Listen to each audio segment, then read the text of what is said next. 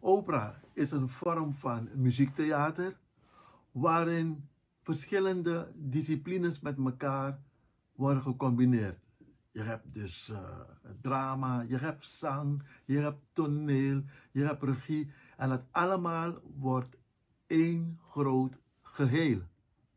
In het begin van de opera streefde men vooral erna om de verstaanbaarheid zo goed mogelijk te maken. Dus men koos vaak voor één stem, dus eenstemmig, begeleid door een lichte begeleiding.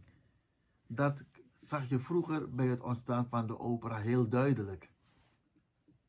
De menselijke stem speelt dus in opera, hoe dan ook, een hele centrale rol.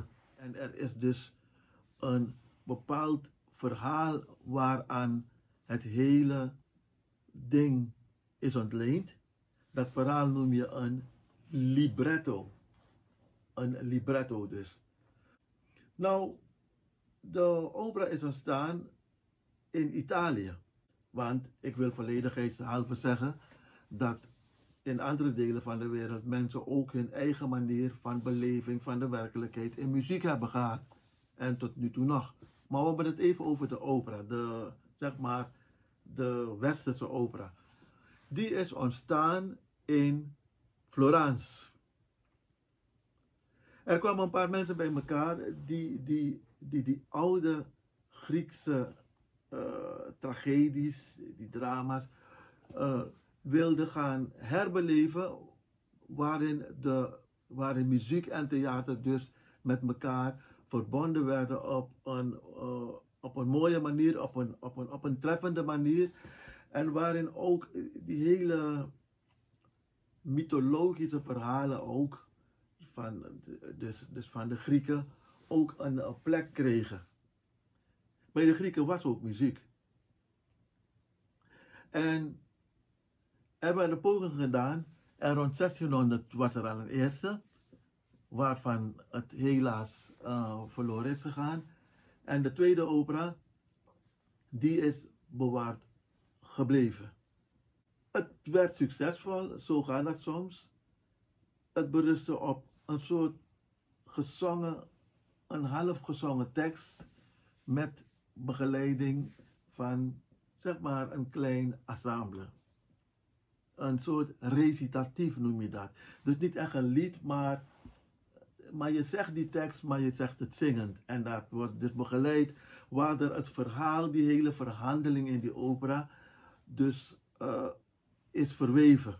En er ontstonden allerlei genres. Onder andere ook in uh, Frankrijk, de Franse uh, opera. En Duitsland ook natuurlijk. En men ging later ook ballet in sommige opera's toevoegen. Dat zie je vooral in de Franse opera's.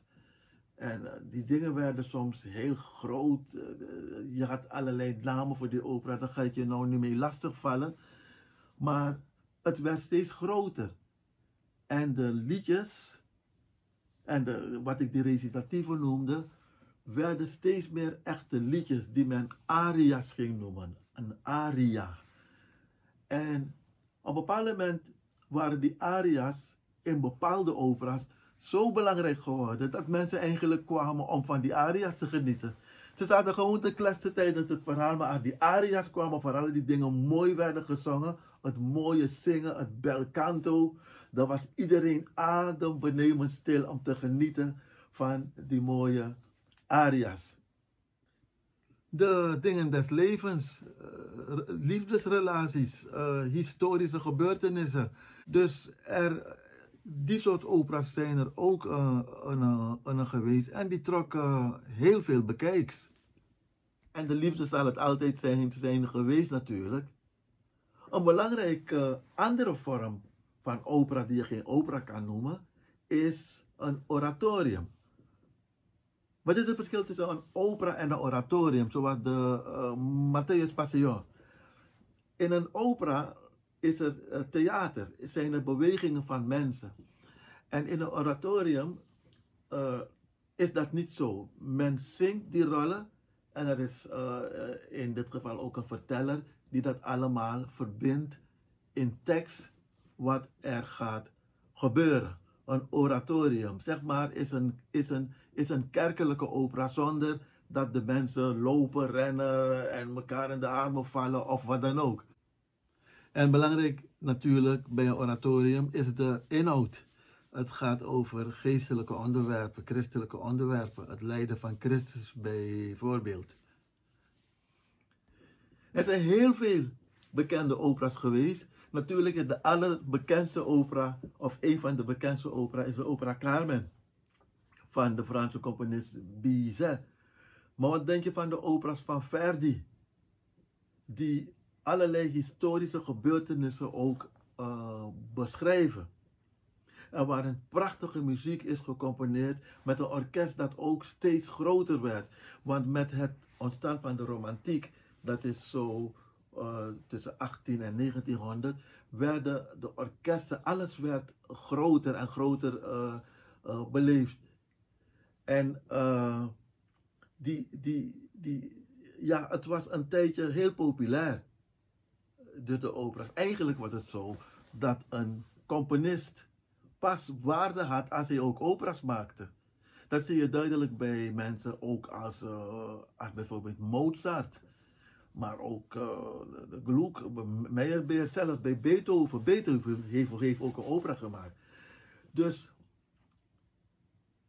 je werd als wat je noemt een componist van klassieke muziek. Uh, die, term is niet goed, maar ik noem het even zo.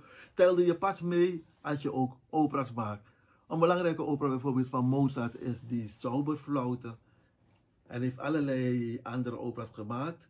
En, en natuurlijk, de Italiaanse operas zijn heel bekend uh, geworden. De Barbier van Sevilla en, enzovoort. En hoe er allemaal ook in wordt gezongen en wordt geacteerd. En de verhalen, de libretto's. Er zijn echt talrijke operacomponisten. Je kan een operacomponist als Wagner niet vergeten. Met zijn ringen. Die, maar die opera's duurden gewoon dagen soms. En, en wat denk je van het aangrijpende uh, een, een, een verhaal van Madame Butterfly? Want er zijn in de afgelopen periode zijn er ook opera's gemaakt. Zoals Nixon to China, om maar iets geks te noemen. Of iets geks is het niet, maar het is, het is, het is van deze tijd. Dus het maken van opera's is niet opgehouden. En uh, het, was een tijdje heel volks, een tijdje heel elitair en, enzovoort. Het wisselt door de tijden heen nogal wat voor publiek het trekt. Hoe moet je de opera van uh, Nicolaas Helstone nou plaatsen? Kijk, de opera van Helstone is rond het begin van uh, 1900 gecomponeerd. Toen heb je dus de romantiek, wat ik al aangaf, gehad. Uh, kijk, die muziek is op dat moment toch wel ook uh, tamelijk gericht op aria's.